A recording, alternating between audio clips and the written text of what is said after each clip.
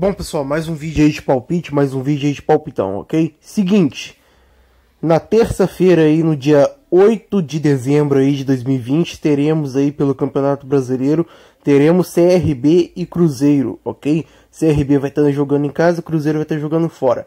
Acredita em 2 a 0 para o Cruzeiro, ok? Cruzeiro aí com o Filipão é, conseguiu uma sequência aí de vitórias aí, tá engrenando no campeonato, engrenou no campeonato aí, e creio sim que o Cruzeiro vai sair com a vitória nesse jogo aí. Então eu aposto Cruzeiro 2, CRB 0.